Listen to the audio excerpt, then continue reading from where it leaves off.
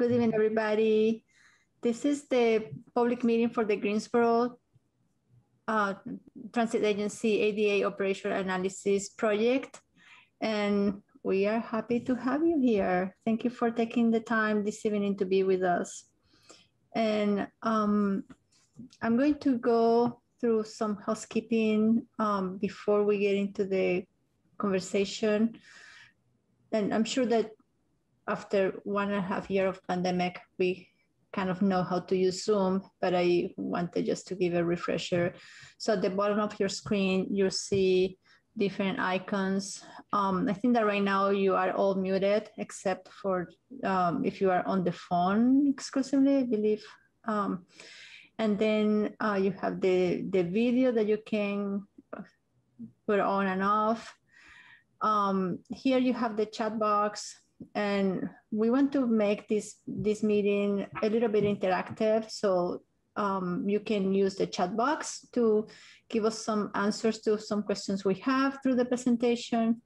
Or you can there is this reactions um, bottom here that has um, you can raise your hand or you can uh, put you know different different type of reactions so um, please feel free to use the chat or the reactions when you want to uh, respond to our questions.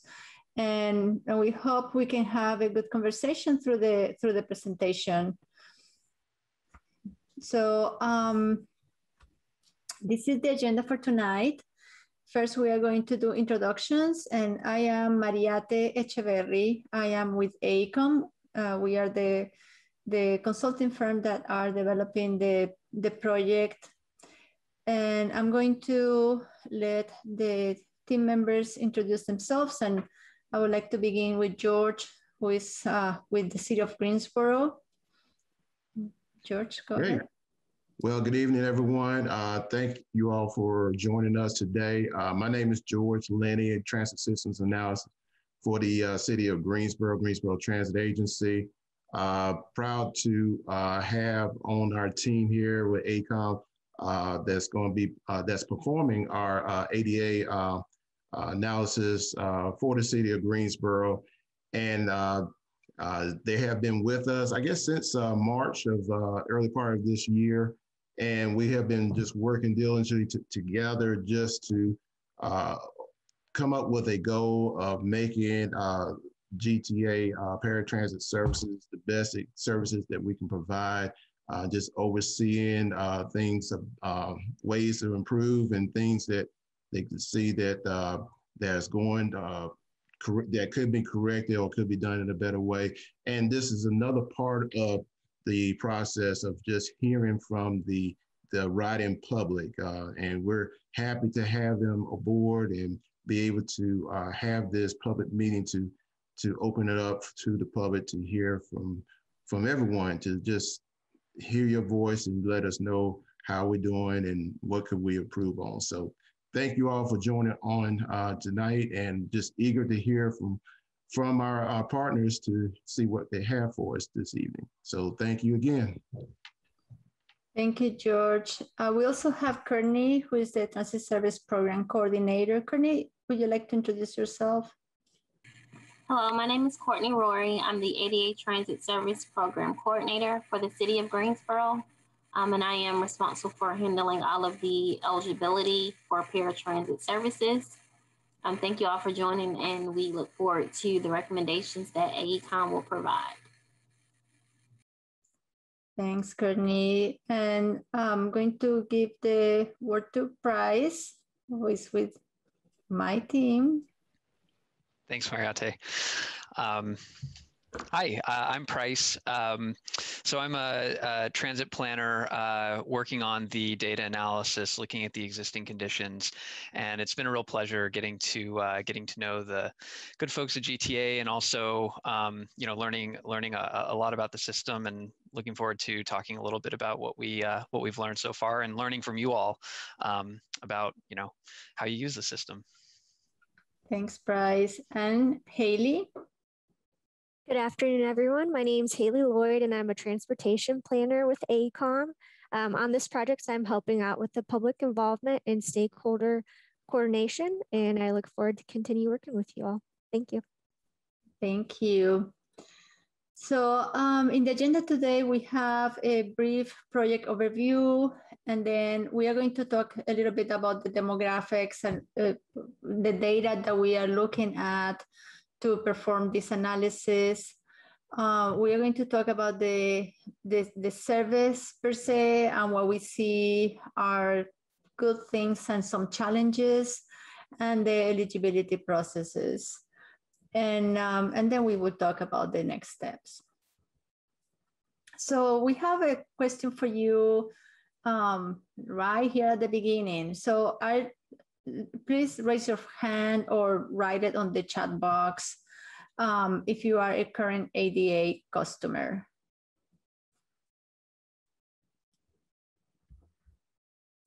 Let me see. Um, at least one hand. That's good. Are there any former ADA customers here? Yes. Good. Uh, caregiver, advocate, or healthcare professional? I didn't understand what you said. Is, it, is there any caregiver, advocate, or healthcare professional? It seems that there's none. Great. So um, I'm going to talk a little bit about what we are going to do with this project. Uh, the, the main purpose is to evaluate the service delivery uh, we are looking at the financials. We are looking at how services operated, uh, the eligibility processes. And the idea is to identify efficiencies and identify ways to for GTA to provide a better service uh, through Access GSO. And the study includes two phases. So the, the first phase, which is the one that we are developing right now, is the operation analysis, where we um, look at all the data, you know, uh, a, lot of numbers. Uh, we look at the maps, we look at the policies. And based on that data, we make an analysis and prepare uh, some recommendations. And then on phase two, we, we will do an implementation and action plan where we will um, kind of develop the way how those recommendations should be implemented. And so we think that um, it is really important for us to look at what the agency vision is, um, because that provides us some guidance in the in, in the process. So I'm going to read it. It's on the on the slide, but I'm going to read it. So the city's vision of an ideal ADA paratransit system is one that accommodates all eligible participants through transparent communication and that is supported by fixed route service and a robust innovative system. The city hopes the community will view the paratransit service as a well-advertised solution for seniors, seniors and people with disabilities. And we also have some agency goals for this project. So um, the first one is to improve efficiencies. We are also looking uh, on the goals to refine the eligibility requirements lower the overall cost of providing services. And when, when we go through the data, you're gonna see why this is here to improve the rider customer experience oh, and, I, and to provide adequate resources in planning and operations. And the, the project timeline, um, as you can see, uh, well, in, in the slide, there is a, a the, the, the first phase, which is the, this one that goes from March to December. So it's roughly nine months that, and then during those nine months, we do the all the operational analysis, we do assessment of eligibility and resources, and we develop those recommendations. So we hope, and, and it's in the schedule to have all of this ready by November. And it's, a, it's very important for, for GTA and for the city of Greensboro to have public involvement. So this is the first of three meetings that are going to be part of this project um, to hear what um, people have to say. But also as part of the public involvement, we have a survey that um, is, or is the link is on the chat in this meeting. So you can click on, on, the, on that link and fill out the survey uh, once this, I, I, hope once this meeting is over, so you um, you can tell us what you think. It's also on the Access GSO website, um, and and you can respond it there. And if you have any problems responding the survey, you can uh, contact us, and we will help you with that.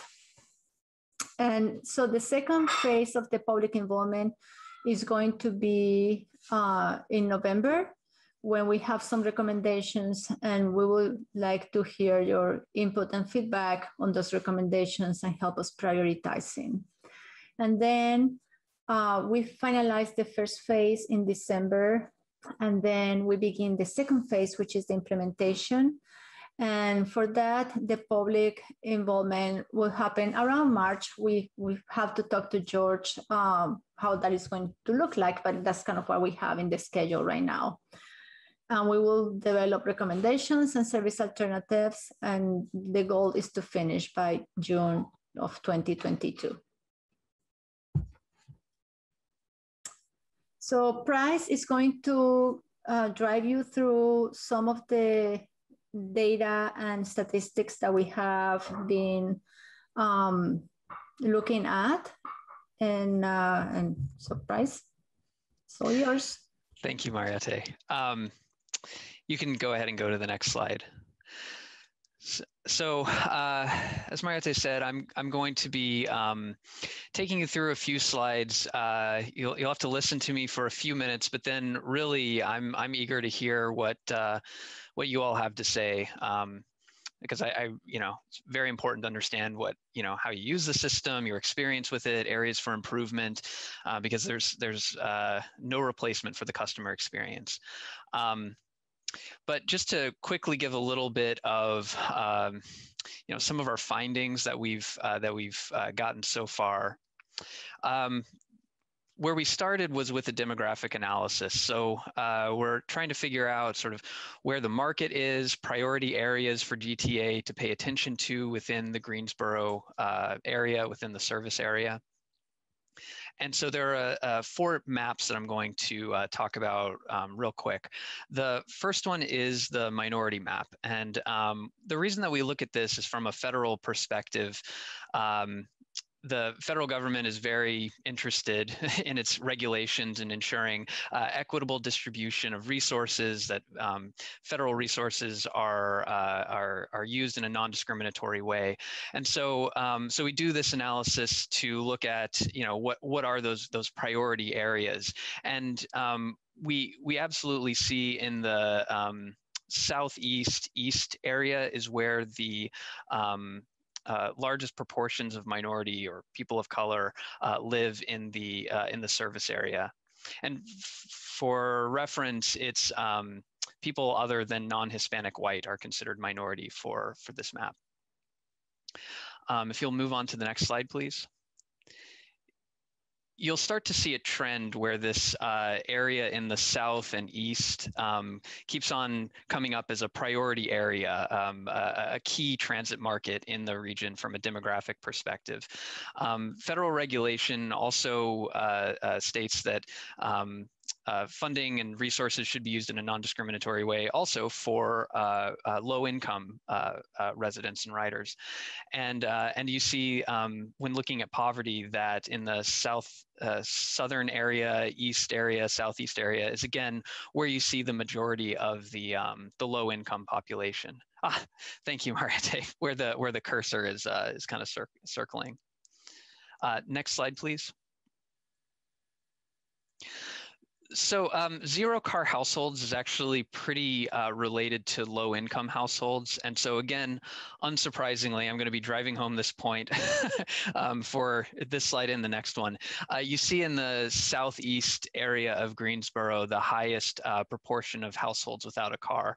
And that that's um, typically related to the um, uh, not having the financial capacity for a household to afford a car. And, and it's also really important, um, again, from a transit market perspective, uh, an equity perspective, uh, to provide service to um, to those areas and, and, really focus, you know, communications, outreach, et cetera. Um, where the households are more likely to um, to not have a car and therefore depend on public transportation. Uh, next slide, please.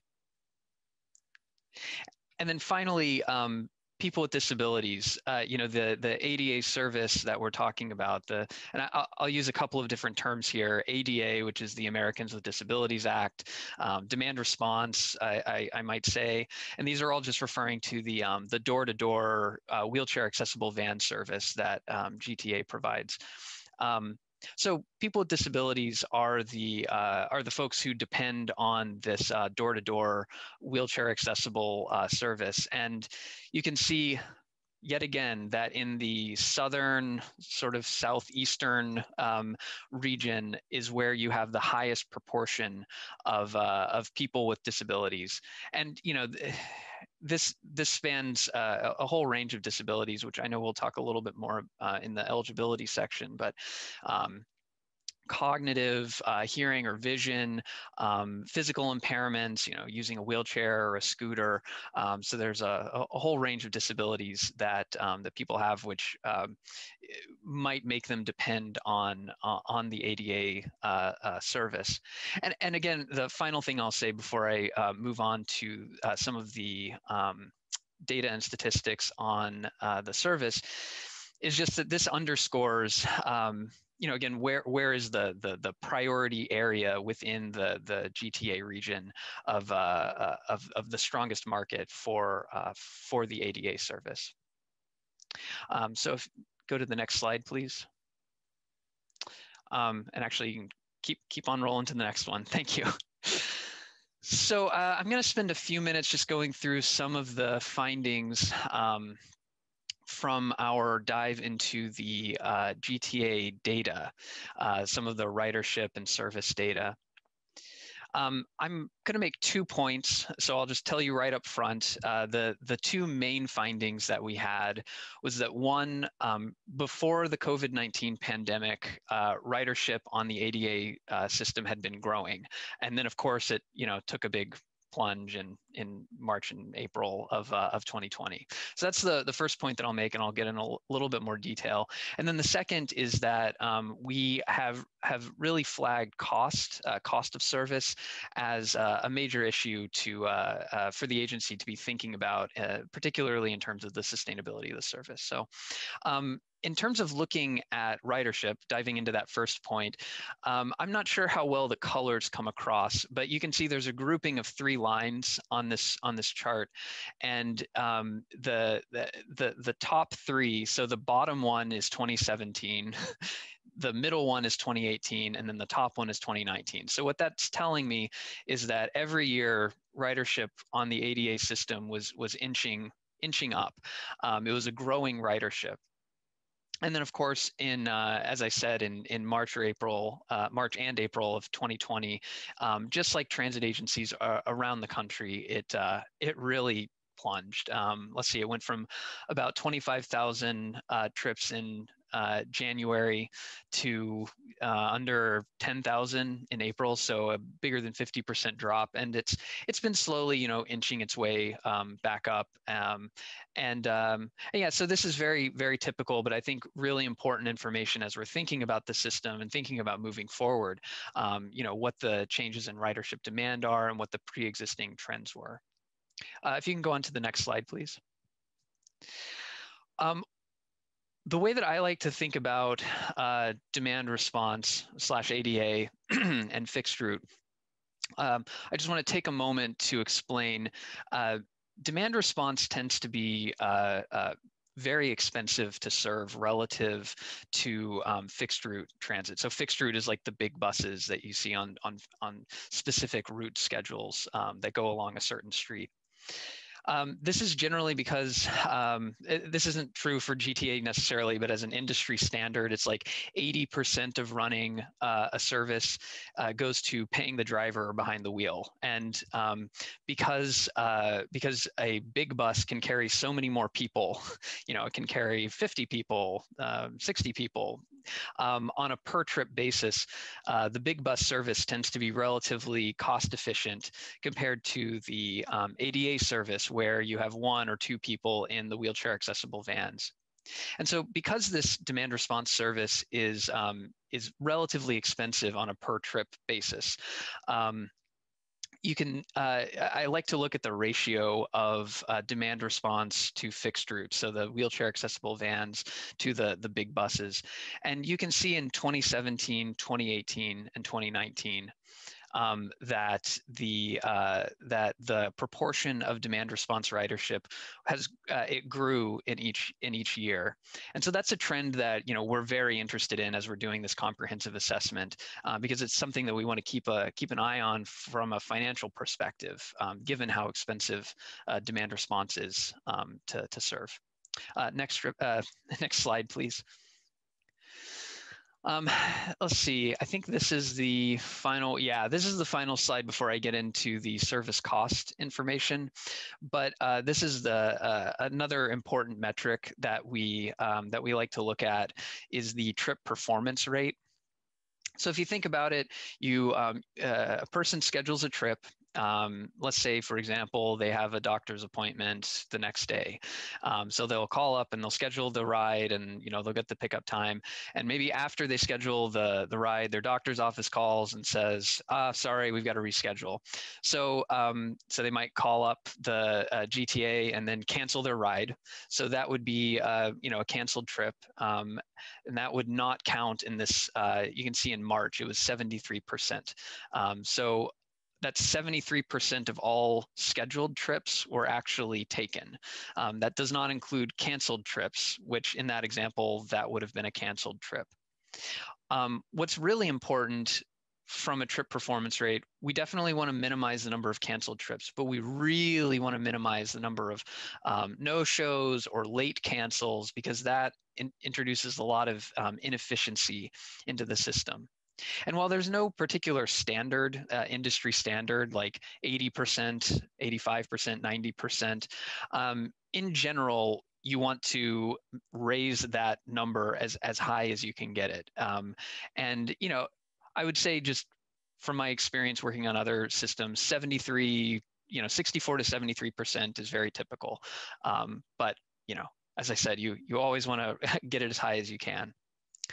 Um, next slide, please. So I'm going to spend just a few more slides uh, talking about cost uh, because this is something that we uh, really identified as we've gone through the um, as we've gone through the the data. The first is just overall cost of running the ADA service. Um, you can see in the in the pink um, pink bars that's the demand response cost, and particularly since 2016-ish, uh, the cost of running the demand response system has has really increased. Um, you can actually see that uh, it's gone up uh, in 2019 relative to 2010. Um, it was over 70% uh, increase in the cost of running the service. Um, at the same time, the cost of running the fixed route uh, system has gone up by, uh, well, in 2019, it was under 10%. In 2020, it's a little under 20%. You know, it goes up and down it fluctuates a little bit year to year, um, but but we're seeing a much greater increase in the cost of running the demand response system. And so this is something that you know we're really interested in because um, because as I said, demand response is already so expensive to run relative to fixed route. Um, and we want to see a you know a financially sustainable service uh, uh, providing mobility and access you know getting people to the doctor or the grocery store picking up their prescriptions um, you know you have to have the dollars to pay for it and uh, and to run a sustainable system. So that's one one really um, crucial metric that we've been looking at. Uh, next slide, please.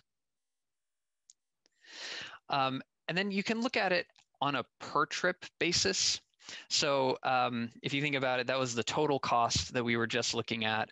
On a per trip basis, we see the same increase in the, the cost of running uh, the demand response system, although not as pronounced. Um, it's in the dark blue line, the, the um, cost uh, per trip has gone up by, sorry, I have something on my screen that's obscuring the number. Um, it's gone up by you know about 20 percent ish. Um, fixed route has actually gone up more. Uh, we think it's because ridership has gone down on fixed route, and so on a per per trip basis, that makes it relatively more expensive. But um, but again, going back to the sort of overall point, um, you know, we're very interested in the cost and why costs have gone up and thinking about what the future of, uh, of the system is going to be and the sustainability of the, of the system given these cost trends. Uh, next slide, please. The final point that I'm going to make before I uh, summarize and then, and then hear from, from you all is just that um, the fare box recovery ratio is, is another key cost metric. And uh, we, we wanted to put this uh, chart on to demonstrate that because the cost of a trip on um, on the demand response system is relatively high, um, fares so the the the amount of of that cost that is recouped is relatively low by paying fares. So it's only about 3% of the cost of running the system is uh, is recouped by the fares, is covered by the, the cost of fares. And so, you know, the majority, 97% is, uh, is covered by other funding sources from the federal government, the state, local, et cetera. Uh, next slide, please. So uh, in summary, just to, just to, you know, hit those couple of points again, um, you know, we we we found that. Well, I'll go even further back. I'll talk real quickly about the demographics. We found that, uh, you know, it's the south, southeast, east area of the service area that um, is probably the prime transit market and the area that um, GTA should probably be focusing uh, or prioritizing um, uh, from a demographic perspective. Um, and then for in terms of the service and, and financial information that we that we found, um, we, we see GTA as a well-run system, but the cost trends in particular um, uh, present a, a, potential threat to the future sustainability of the of the system and and um, and you know something that will take that trend into the the next phases that Mariate was talking about in terms of thinking about you know what are the strengths weaknesses opportunities threats and you know how does that feed recommendations that we have so I'm going to stop talking and I'm just going to pose one question, uh, Mariate, if you'll go to the next slide. So it's a very broad question, but I think probably the most important one that I can think to ask is what improvements would you like to see in the ADA system?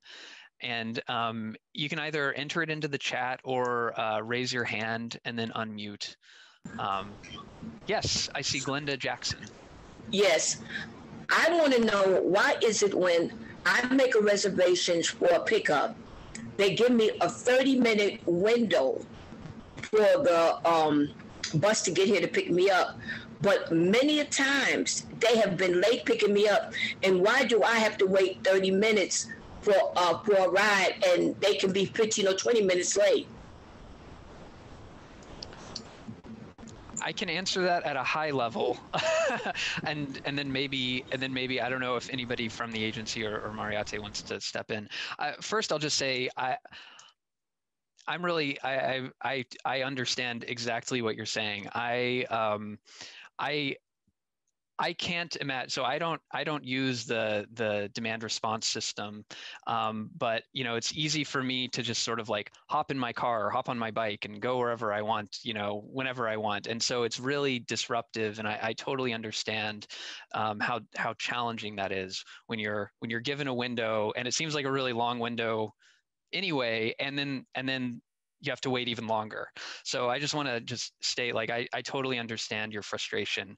Um, I I know uh, in general the the the um, the scheduling system tries to like make it as efficient as possible because of the cost that I was talking about. Like they are scheduling the the trips as tight as tightly as they can so that you don't have a driver at any point sitting, you know, twiddling his or her thumbs waiting to go pick up the next person. And so because it's like tight as a drum, the people are always on the go. Anytime there's a delay, anytime there's a no show, anytime there's a doctor's appointment that runs long, it ends up cascading down to all of the subsequent um, pickups. And I know that's not maybe a satisfying answer, but um, I, that's something that I've, I've seen I've seen a lot. So Mariate, it seems like you might have something to say. Yeah, I wanted to say that uh, we are also looking at the on-time performance and we didn't put it in the presentation today because we it, we wanted to focus more on the kind of the the ridership, the cost data, and also the eligibility processes. But we are looking at all those elements um, to see where there, there, there is room for improvement. So if the if they are not picking you on time or if the waiting times are too long, that's those are some of the things that we are looking at uh, that we of course want to hear from you if those are issues so we can work on on resolving um, providing some uh, try to provide some efficiencies there. Okay thank you. Um, i think D- deanna yes. de liberto Yes. Um, so I, I'm I've been generally happy with SCAT. I mean, yeah, there are other days where they come late, but for the most part, my experience has been you know, very pleasant with them. My concern is, and I raised this, you know, during the budget um, hearings, and that is that those of us who are on low income, which is pretty much anybody who receives Social Security disability, um, our paychecks go up 10 cents uh, a year, if that much. And yet, SCAT is going to be raising its fare um, 50 cents um, in January for, per ride. So if we get 10 cents a month, I don't, I just don't see how the lower income people can uh, can afford it. And I'm also concerned about changing. I mean, I'd like to hear more, I guess, about what your recommendations are in terms of eligibility uh, requirements because in my case a lot of people probably don't think i need scat but because of my vision i can't drive and i can't get around greensboro without a car. So um, i'm just want to make sure that people who you know it's not just people who are in wheelchairs or have obvious disabilities that are going to be allowed to take scat in the future. Thank you very much. Thank you. And I see another hand raised, the 336. Oy. Yeah, the uh, person on the phone um, ending in 4115. 4115, yeah. Um, yes, this is um, Alfred Inglesby. And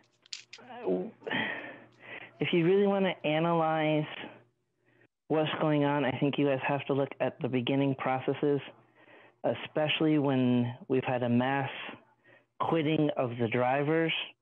I work at Industries of the Blind, which 96 employees of Industries of the Blind use Access GSO for transportation to and from work. So you're looking at 960 trips in a five day period, Monday through Friday, 30, over 3,600 trips on a monthly basis, where we're shoved on a van anywhere from three people to nine people to get to and from work. And that's pretty regularly. There's breakdowns in communication with reservations where people can call, make reservations, have a witness, and then when it's time for that trip, they're told by dispatch that trip does not exist.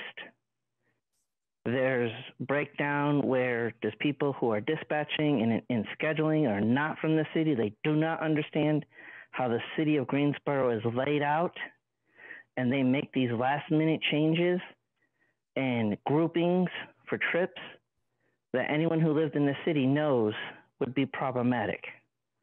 Because I know the grouping from in my area on Hargett Street, if we have a coworker who lives on Anita Glen, that's 12 minutes going out to Anita Glen and 12 minutes back to my home.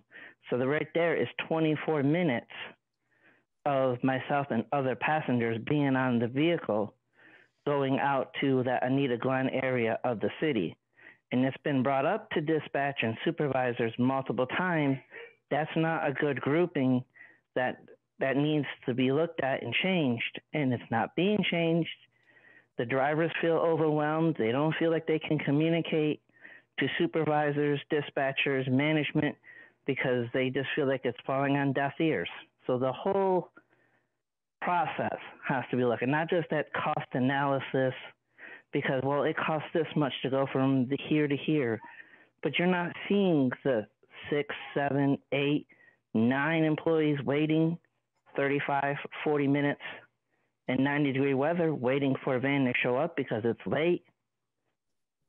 So really look at the the people here who are taking the services to and from employments, school, doctor's offices, and if you want to compare the cost of things, the city of Greensboro has grown since 2010 or any other metric year you want to look at. The city council just annexed more area of the city into the city where there is no fixed route transportation. So if people lived out there, their only means of transportation to go to the grocery store or the doctors or working is via the paratransit if they're eligible for paratransit.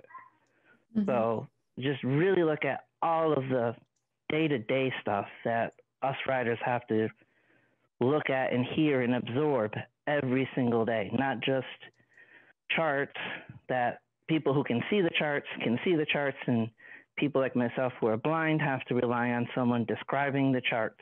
Mm-hmm. So thank you guys for your time. Thank you. Alfred, can I ask a, a follow up question? Yeah, yes. I just want to make sure. So you, you touched on a couple of things. One was um, w- one had to do with trip groupings and understanding of geography. And then another had to do with driver turnover and then you also touched on uh, communications between driver, staff, and dispatch and scheduling.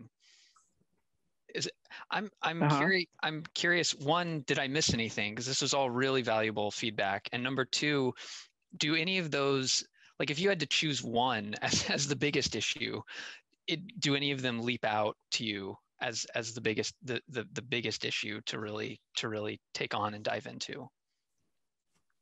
It's at the same level because if you try to pick apart one of it, it if a driver sees that there's a grouping of nine people and they try to point it out to dispatch and says, "Hey, this is not feasible. There's going to be passengers on on this route for over an hour, and I'm already going to be late picking them up."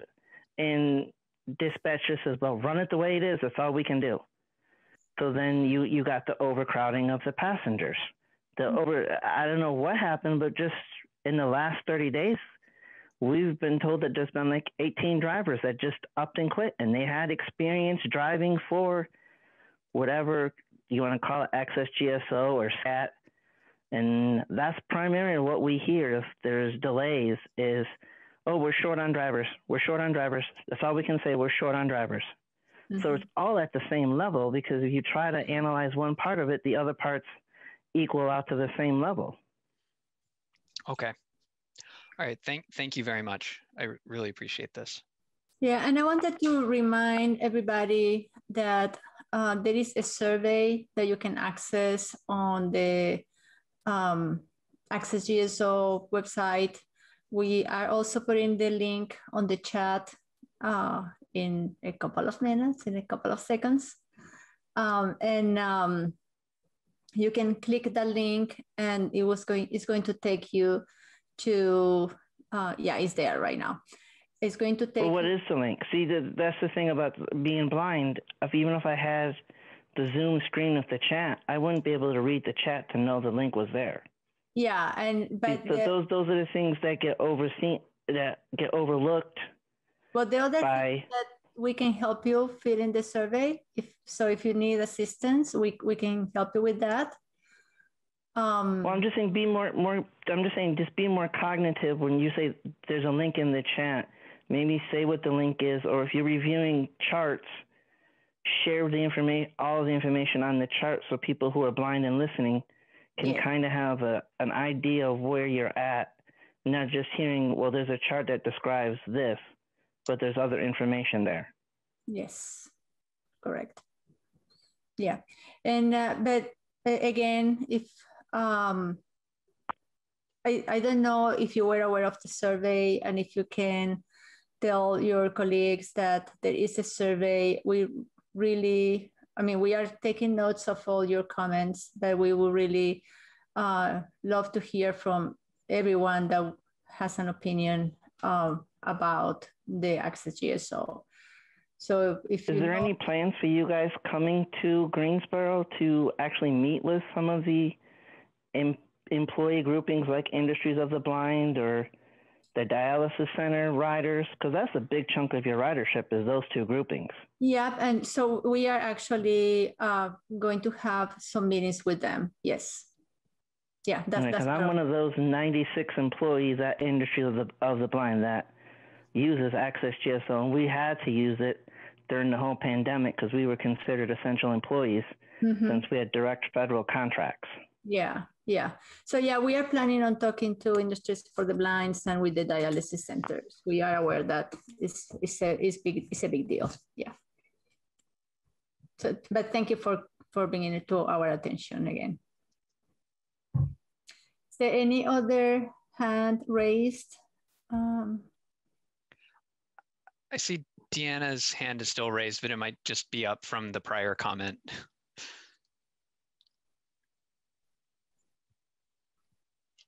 Yeah, Yeah. I was I was just wondering if anybody was going to address my comments at all. So you you were um, right. You uh, said that um, you're talking about fare increases uh, going up higher at a at a faster clip than increases in fixed income. Right. And I mean, I'm Mariette. I would defer to you if I, I can I can respond sort of at a, at a high level and and just very I, I guess on a very human level. Like I I totally understand what you're saying, and I, I really um, I I. I I understand that when you have uh, when you're on a fixed income and money is tight, and then fares go up by 50 cents on a service that you use maybe twi- twice a day, you know, for weekdays, that that is that is a real a real burden. Um, you know, I, guess I guess I I would only also say that you know there's it's hard. It, there's pressure again going back to cost, and I know that we've. I feel like I'm kind of beating a dead horse. There's a lot of upward pressure on the cost and the cost sustainability. So uh, a lot of pressure to at, at least do periodic fare increases to help yeah, but I uh, I think that. with, with all due respect, your company, Mm-hmm. you know, like is coming in and you're I think you're the driving force behind behind like recom- what you're going to recommend to the city of Greensboro. And you guys need to understand that you know that not everything in a budget is going to balance. Not everything's going to be a profit making um, issue. And you got to look at people who are you know there's got to be some mechanism in there for people who are low income. There are probably some people that can afford the increase but there's mhm. a significant number of senior citizens and myself included who just are not going to be able to keep affording 50 cents each year increases per ride. Yeah. Yes, uh, and so one of the things that we are looking at, we are looking at that as well as an overall, um, in the overall analysis. But I think I would like uh, George to address this question because the fare increase is something that came before we even uh, began this project. And um, so, George, if you have something um, that you can tell Mrs. Diliberto, uh, that would be great. So, yeah, so if, if, as many of you all know that, um, you know, part of the um, process um, since the beginning of this year is to look at our overall budget um, with uh, not only with um, Access GSO, but with the um, entire um, GTA budget. And one of the uh, things that, that was brought up is the the fare uh, for um, Access GSO and and how it compares to uh, the other uh, systems around in North Carolina and and um, and where we are have our fares, it hasn't really changed in so many years. And so with that, um, you know, uh, it was brought to our attention that we, that was something that we need to look at. So th- that process actually started, I guess, before we actually started with um, um, this ADA uh, analysis.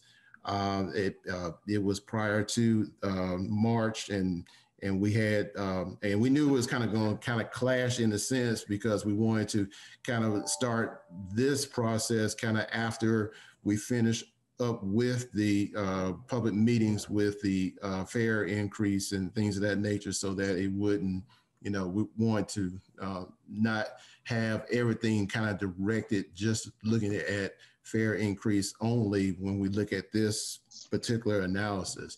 So that is, you know, but it is important. Uh, it's something to, you know, definitely just, you know, keep in mind. Um, as you know, that it did, uh, it did pass. You know, the original uh, thought was to uh, um, pretty much um, double the fare uh, uh, the maximum, which has been three dollars per trip. Um, that was um, the first uh, recommendation, but as you know, we went through the the uh, process, uh, the public comment process, and and at that time, you know, we heard from the public and saying that you know that's just so too much of a of a jump all at one time to go from a dollar fifty all the way up to three dollars per trip. So we um, we heard the uh, you know the comments and and that it was addressed. Um, at the uh, city council meeting. And so that's when it was um, uh, recommended that the uh, it would go from uh, a dollar fifty to fifty cents uh, to two dollars starting in January of next year. And so that process, like I said, is all have been pretty much set in stone prior to us coming and, and, and coming with this process here. So um, but that will continue to be looked at for the future because uh, on that um, budget, uh, it's also looking at going 50 cents per year. So that will be something that will be looked at. Yeah, I, I would object to that 50 cents increase per year. I mean, you can't get blood from a stone. I was involved with those public hearings as well. Right. So I'm, you know, I'm, I'm, I'm familiar with everything you said. I'm just trying to say that there needs to be um, an increase on the fixed route, perhaps, and an understanding that people who are low income are not going to be able to sustain this. I mean, right. it's just not going to happen. I'm I moved from New Jersey um, to Greensboro primarily because I couldn't afford to live in New Jersey and get around, and I don't want to be stuck in a house just because I can't get around because I can't afford SCAT. Mm-hmm.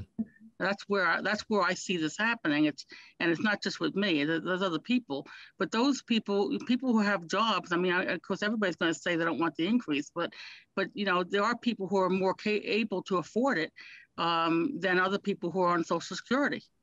Mm-hmm. Right. So it's, the point is well taken. I think it's something that we, you know, definitely will keep in mind and and keep it a part of, of the analysis as you know the mm-hmm. future uh, recommendations for the increases. So we, we, we hear you and we're definitely going to uh, keep that uh, in the process of this analysis. Yes, because to go on, to go on to her point, the largest minority in this country is the disabled population, and you got anywhere whatever statistics you want to look at, from seventy to eighty percent of the disabled population is unemployed. So you're already creating a minority of a, a group of people that are already stuck on a very tight fixed income. Mm-hmm. And some of them is not due to their circumstances, is how they have to live in a group home. And the group home structures, because the state dictates how much group home can charge, those individuals only have so much money to pay for trips. And yeah, we're in a unique position where Access GSO can take us anywhere in the city limits, and we fought very hard for many of years to keep that because we know there's areas of the city where fixed route is basically a desert. There's no fixed route buses in certain areas of the city, so you mm-hmm. can't get from point A to point B. You're stuck. Yep. Yep. Thank you. Yeah, we are we are incorporating all these comments into the the public engagement portion, and we will have um, recommendations as we continue. But I'm going to continue. I'm going to continue with the presentation uh, because I don't want to keep you here longer than we need to, and we still have some other questions for you. And um, so please save your energy because we want to continue hearing from you, okay? And I'm going to talk a little bit about the eligibility process and you are all familiar with this process, right? Mm -hmm. um, I'm gonna do just a very uh, brief overview of the eligibility uh, and what is in place right now. So there are all the process and procedures to go through the through the eligibility to get certified. There is the functional assessment and there, there is also the site assessment. So we are looking at, at oops. Can you see my screen? Oh. Yes, we, we could. Yeah, sorry, my my screen suddenly got black and um, I couldn't do anything. So let me get to the part of the presentation where, let me, let me go this way. My apologies. You know that technology is great until it's not. And um, so in the, um, I was talking about the certifications. So right now, uh, currently the the city has three types of certifications. Uh, is the full certification, the conditional, and the temporary. So the, the full certification is uh, kind of granted access to the access GSO, people that cannot ride fixed route under any circumstances. The conditional certification is for people that can um, that could ride fixed route if the if there were no barriers. So, for instance, perhaps a person can get to the bus stop, but because the sidewalk uh, is not in good shape, or because the there are no ramps to access the the bus stop, that person cannot do it. So that person is given a conditional certification. And then there are the temporary certifications that could be, for instance, uh, someone that has an accident and, and, needs to ride ADA for, for a little, for a, for a short period of time, or someone that comes and visits Greensboro and uh, needs to, um, to, to, to move around. And the steps to get the certification uh, you have to go through an application and then the application has a professional verification that is usually a doctor there is an application, the application review that is done by the Transit ADA um, service coordinator, and, and with, who is Kearney. And then uh, there is an interview and an in-person functional assessment, and then the eligibility determination. So um, if the person that is looking for certification cannot get certified and is denied the certification, there is an appeal process that actually has two steps. And so you can appeal and the assistant public transportation division manager will evaluate that appeal, that, that appeal process. And, um, and if the person that is looking for certification is still not, um, doesn't agree with the decision uh, when it has been denied, that person can appeal again. And this time uh, is the director of public transportation who's going to look at it. So it's a, it's a comprehensive process. Um, one of the, I think the most important things that is being done right now is the functional assessment.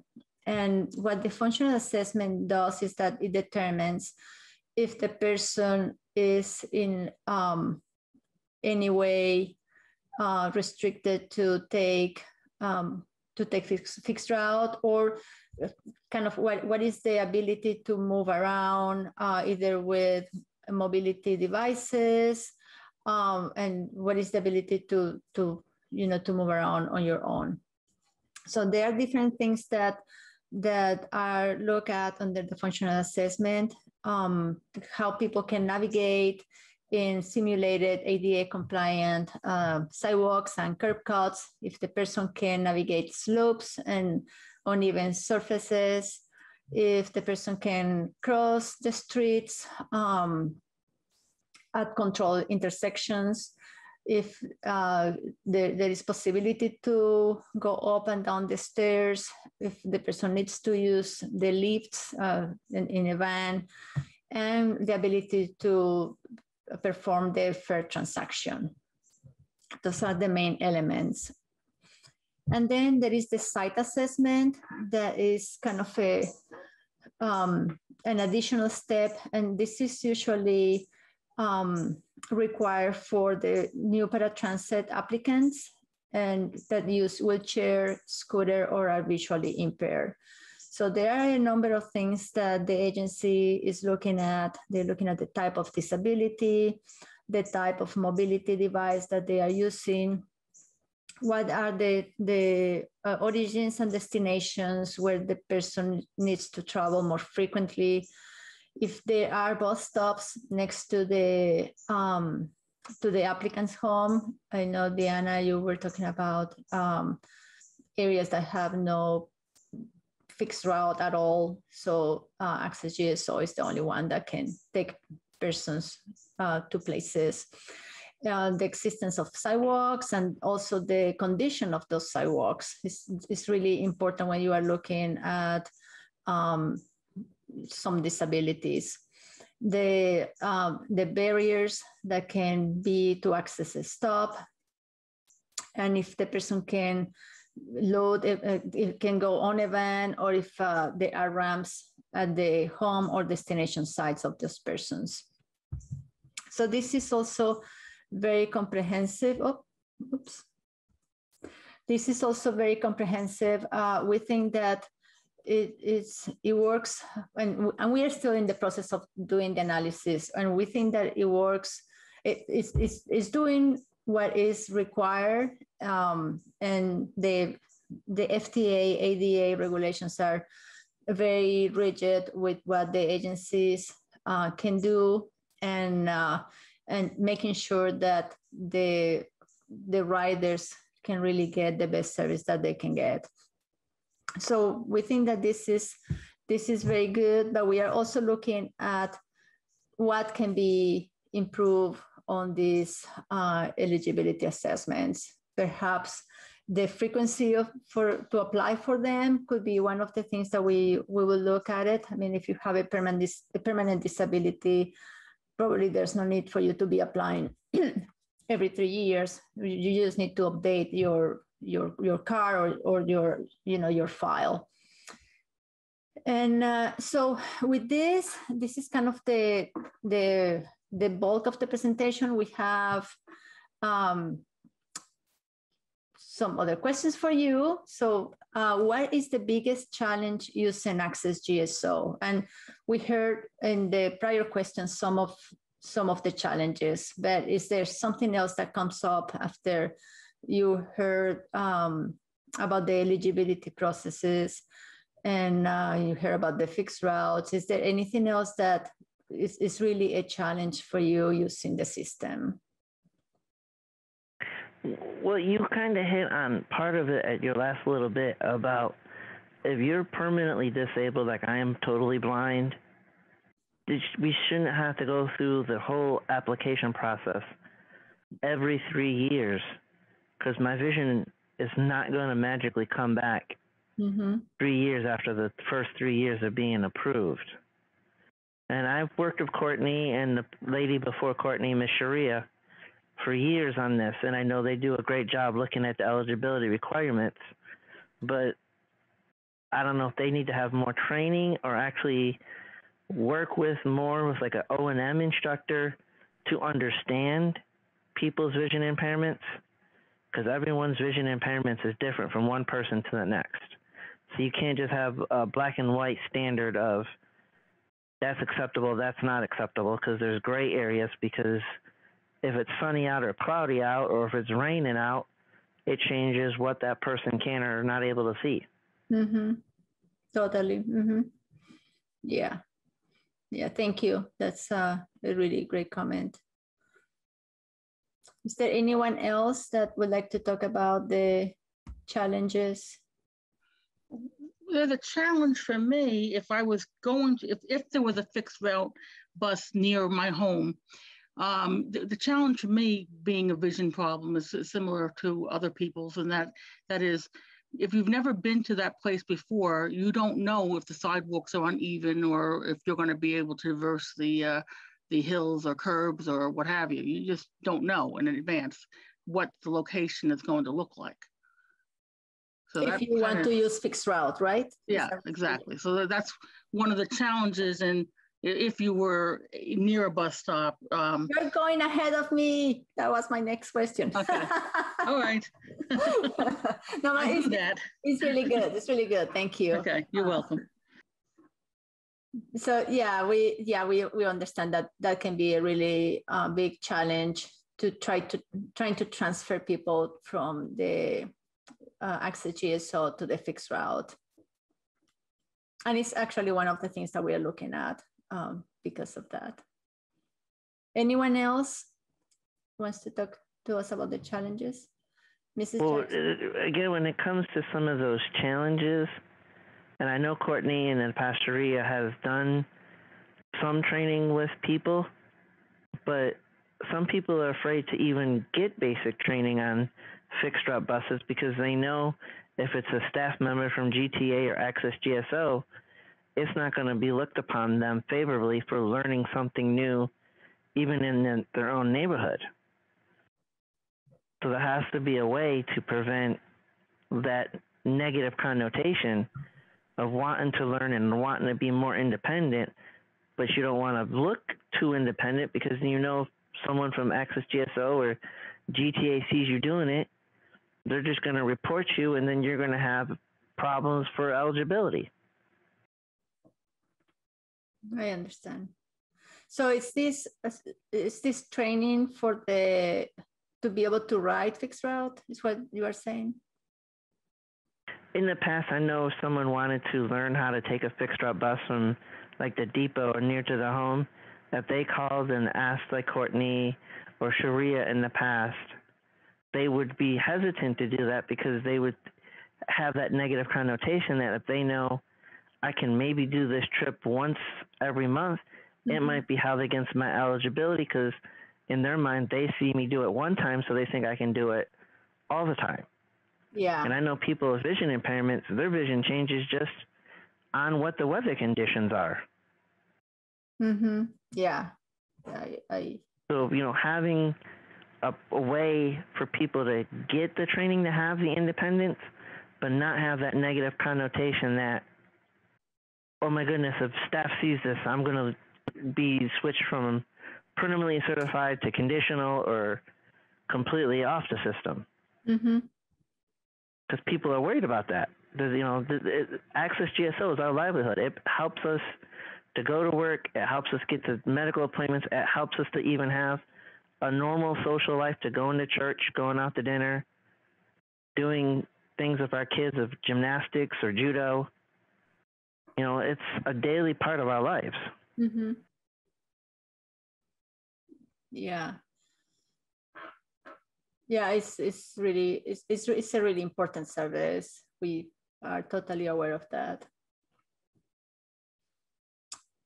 Anyone else wants to comment on the biggest challenge personally? And we heard some things if in the prior question, like um, think that not having your trips on time and or waiting. like to try an extension, you may do so now. Okay. Um, and um, but is there anything else that comes to mind?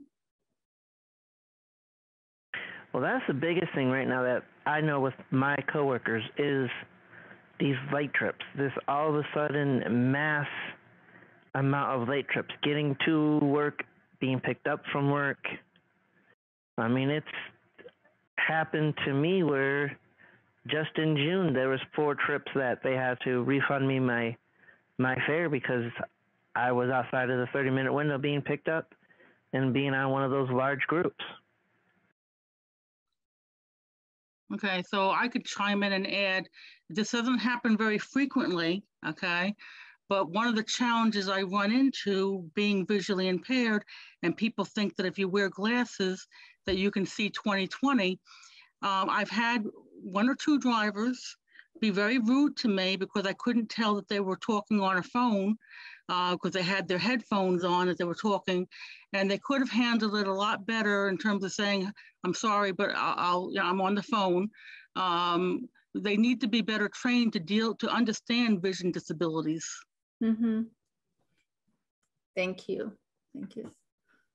And that was something in the past that we had was the drivers or any employee of Access GSO went through some form of sensitivity training of all disabilities.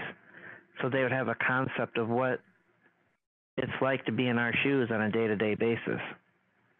Now, I don't know, George would have to tell you when the last time any of that training has occurred, but with some of the newer drivers, it doesn't seem to be at the level it used to be at. Thank you. Yeah, these these are all great comments, and we are taking note of all of them. See Price, and you don't see Haley, but she's also taking notes. My notes are terrible, so I rely on them.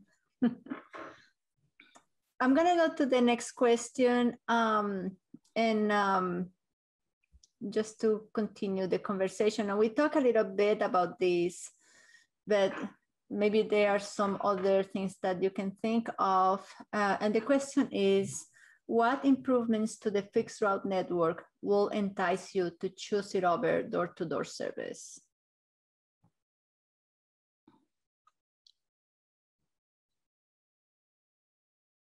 It would have to expand. You have areas of the city that where there's zero fixed route services. There's just no way for you to walk to, or you do try to get to a bus stop. You're walking one, two, three, maybe four or five miles to get to a bus stop because the bus, the fixed route buses are kind of clustered in one section of the city, not spread out throughout the whole city. Mm-hmm. And not only that, but it would have to not end up taking two and a half hours to get someplace because most of the routes start uh, at a certain location and then they have to go to the depot and then you end up having to take another bus or two to get to where you're actually going to finally end up going.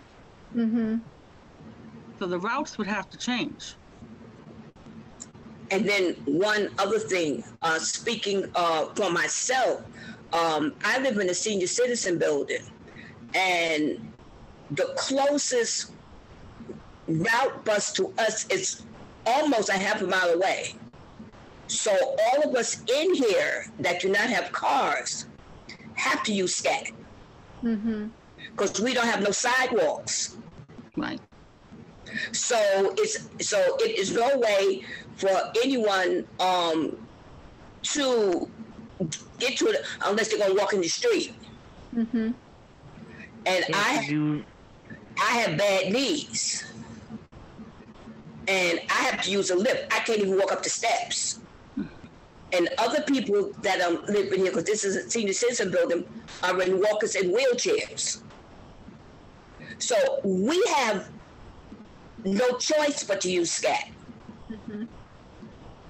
To go grocery shopping, like the doctor, or like whatever. Okay, and they, I don't know how and, and this is something that I don't understand, and I have never understood it even when I was working before I retired. I don't understand how a company from the outside can come in and tell us, when I say us, I mean the city of Greensboro, what the best choice is because you don't live here. Even when I was working, I could not understand how a company could come in and tell us how to work when they don't know what we're doing you, you know, people need this, but like the lady said, we are on the fixed income. Like I said, I live in a senior citizen building. We are on the fixed income. And a raise, 50 cents this year, 50 cents next year.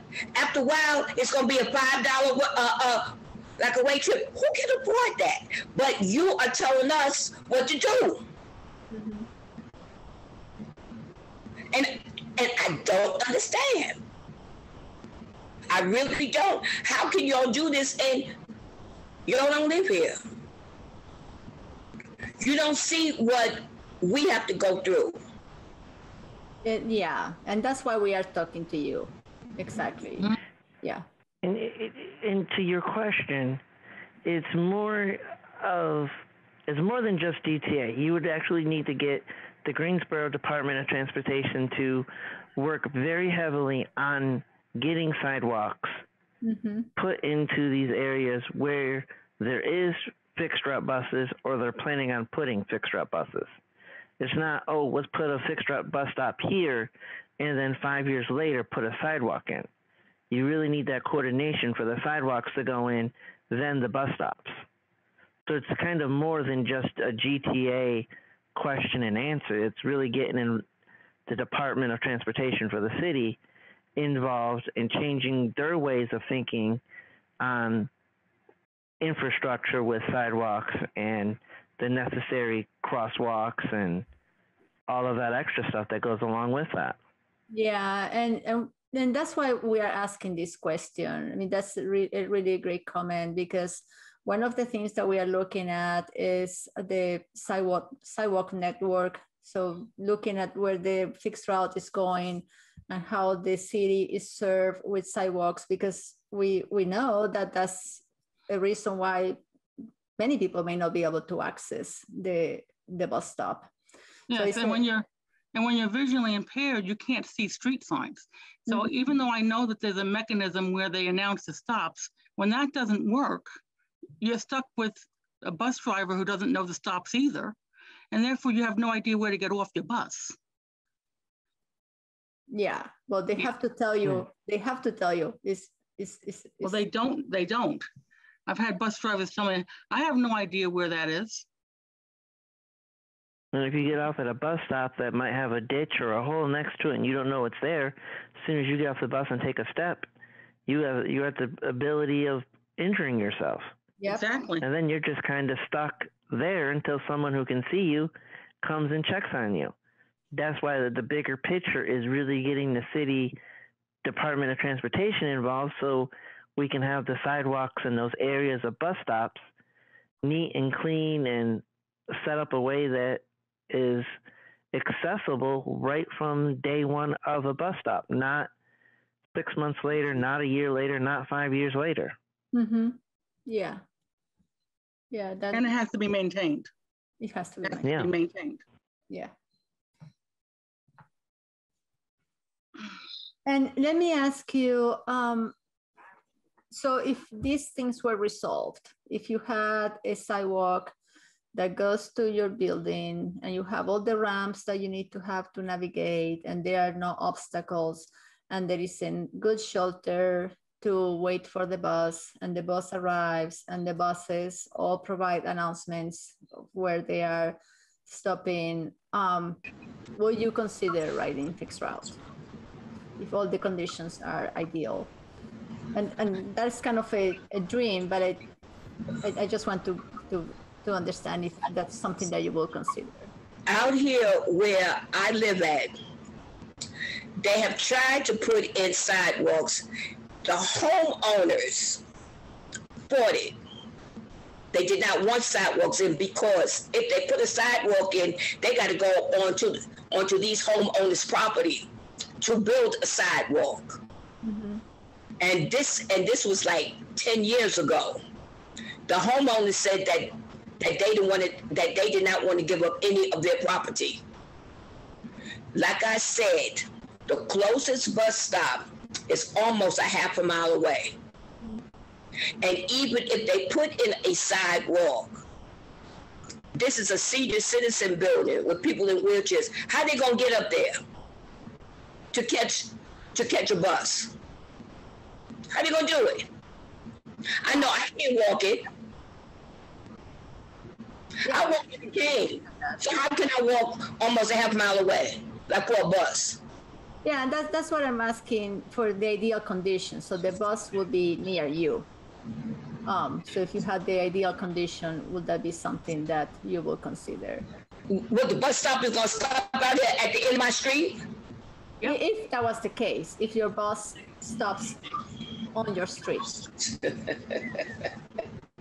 Yeah, and understand because those are the things that we need to that we want to uh, to look at um, because of that cost that price talk about um, looking at if people would be willing to or able to more than willing if they will be able to uh, move to the fixed route if the fixed route has dramatic improvements or really work for you. But you would save money for transportation, but your infrastructure cost would increase. So that would be another part of the GDOT that would be looking to save some money.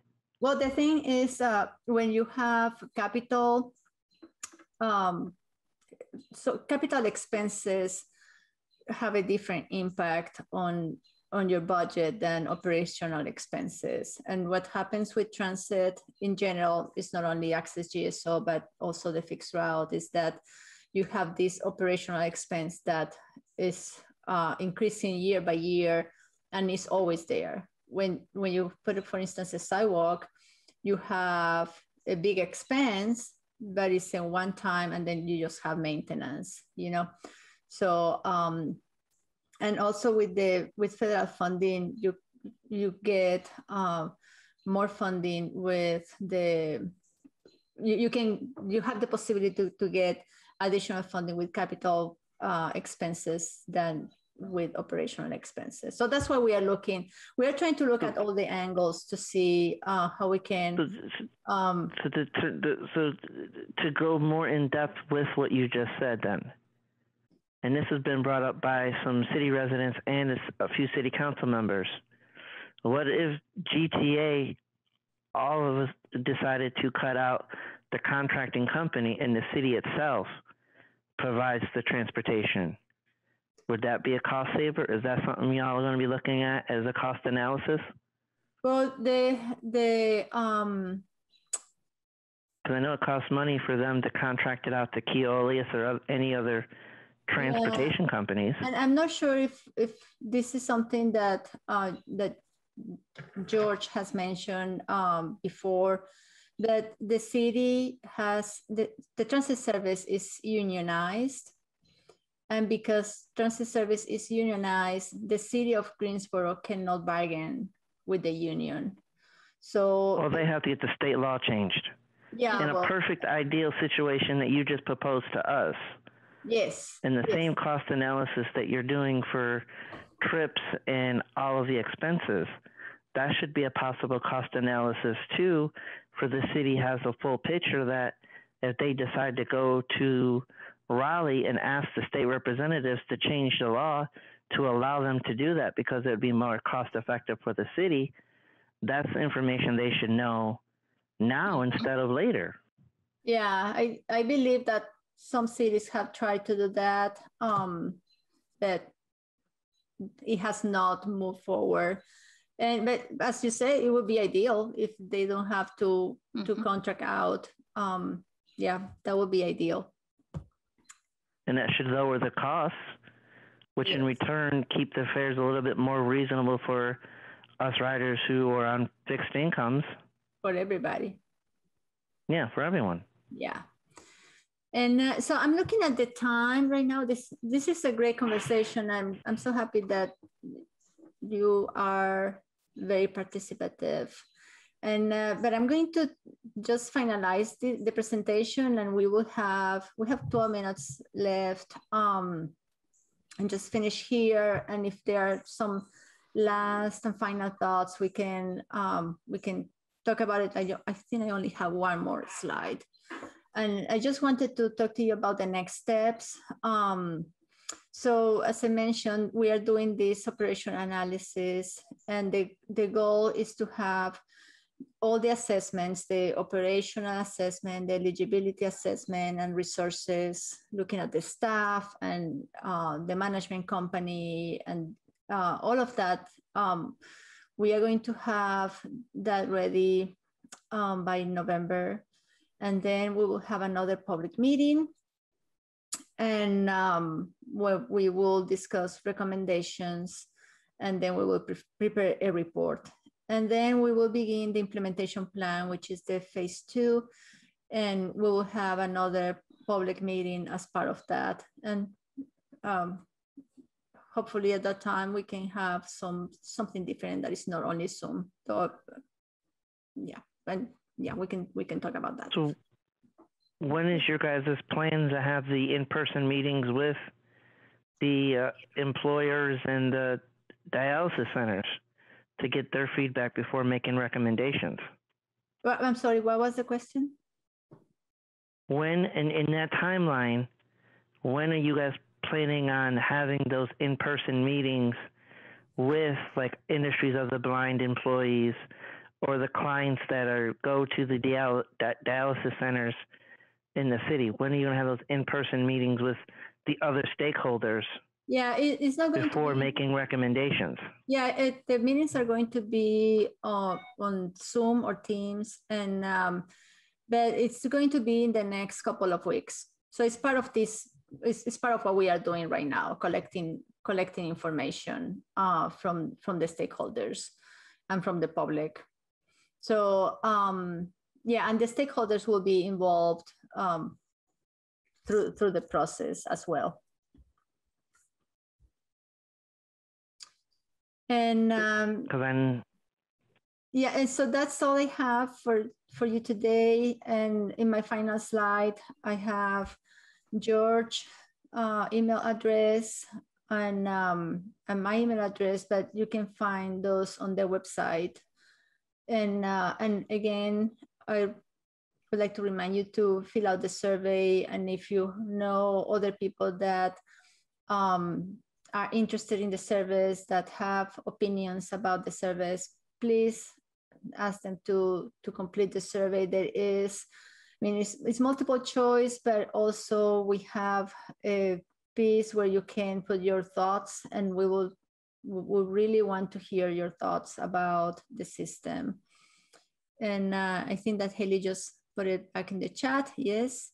And again, if you have any problems completing the survey, please contact, um, you, you, can co contact uh, GTA and we can help um, with, with the process. We can help you filling out the surveys. Well, I'll pass that along to my coworkers. Thank you so mm-hmm. much. That will, that will really be great and will help us a ton. And if I should uh, also add, I just want to thank everyone that's uh, on this call and on this Zoom uh, for your participation and your feedback. Uh, it's really been a great, um, um, this has been really good. Um, we're getting a lot of information and be able to take this and uh, and use it for us to uh, digest and, and, and come up with a, a good uh, analysis for that. Um, just to piggyback uh, back with uh, Alfred, um, we are planning to, um, you know, that's the next thing that we're working on now is, is developing the focus group and talking with, uh, uh, getting some of the contact people from different focus groups. Um, specifically ILB, um, um, both locations at um, Gate City Boulevard and at West Market Street, dialysis centers, uh, other uh, agencies and so. Uh, so Courtney and myself are uh, working with uh, that and and and we'll be uh, reaching out to see when will be the best time to um, to do that. Um, so um, Alfred, if you could, you can maybe pass the word along with the staff members over at ILB just to see what the consensus will be the best time and the best uh, you know way to uh, to have everyone. Uh, if it's something that we can a better time for everyone to be together. Uh, we could do a one mass uh, presentation or a meeting that way. Um, that would be great if you can provide that to us. Um, that would be helpful. But that is our next steps are to develop these focus groups and, and, and, and develop time to meet with uh, them to gather some more information. I will pass that along to HR and to Dean and Joshua to um, get them to start working on that. That'd be great. That'd Thank be great. you. And Miss Jackson, I would love, I was trying to get in uh, a question to you, but I, I was curious exactly where do you, you know, what, uh, uh, Excuse me? What retirement location that you were you're about half a mile away from the bus stop? Um, we are just about, okay, um, are you familiar with, um, Mount Zion Church? Yes, ma'am. Okay. I live now, as you know, right there in front of Mount Zion Church. That's a bus stop, okay? Yes, ma'am. I live down Alamance Church Road, Okay. about just about almost uh three quarters or like a half a mile down, okay? Wilpar. You got it. How, how do you know? I know, I know Greensboro, so yes, I know that area. Thank you. Yes, I live um on Wilpar Drive, not Wilpar Estates. I can't afford them. Okay, Right. but on Wilpar. So now you know that distance, correct? Yes, ma'am. Okay, and and the people in this building that's in wheelchairs or on walkers. Yes, ma'am. And and since you know the area, you and you know the homeowners in this area refused to have a sidewalk, and and they fought against it because they didn't want people going in to some of their property to build the sidewalk. If, if um, you from Greensboro and you know that, you know what I'm saying? I know exactly what you're saying. Yes, ma'am. Okay, so that's the problem here. I, I can't speak, I, I cannot speak no place else, George. I can only talk about here. Right. And I have, me personally, I have had two knee replacements. I walk on a cane and my eyesight is going. So I need, I need, well, I call, I still call it scat. Right. I understand. Right. And it's hard to, um, uh, we just can't walk up there. Right. And you know, that's a walk. And And, and also, if and also a bus, it'd be tough for a bus to get down there and turn around and come back out as well. exactly, Challenging area. I, I know that very well. Yes, ma'am. exactly. Okay. So that's the problem here. I can't speak about no place else in Greensboro. Yes, ma'am. Know that exactly well. Thank you, ma'am. Okay. So, uh, so yeah, that's one of the areas there that is uh, is very challenging for uh, fixed route. Um, we looked at that before, uh, and that and the sidewalk situation is, I understand that that uh, issue as well. So, uh, so we're we're trying to do the best we can to provide the services, uh, the best service for everyone. So I think again, uh, partic- uh, everyone that participated today, I, I appreciate it from the bottom of my heart. Um, this has been really a good effort. I appreciate uh, AECOM and the staff members with AECOM. Uh, I think he did an outstanding job tonight. Um, and uh, we'll definitely will keep everyone abreast of what the next steps will be and keep you uh, informed of the analysis as we go forward.